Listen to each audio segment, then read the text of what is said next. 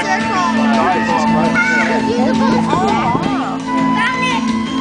morning, everybody. Good morning. Did you all enjoy keto flying? Yeah. That's beautiful, isn't it?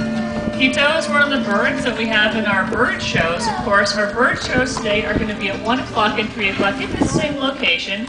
But right now, we're doing something kind of special. It's our 11 a.m. animal encounter. This is a much more informal setting where we can show you different kinds of birds and gives you the opportunity to ask some questions too. I'll try to answer as many questions as possible as I can, but we have a lot to do. You see, because we are actually showing you actual training sessions of birds that are learning to be in the bird shows. These are birds you would not normally see.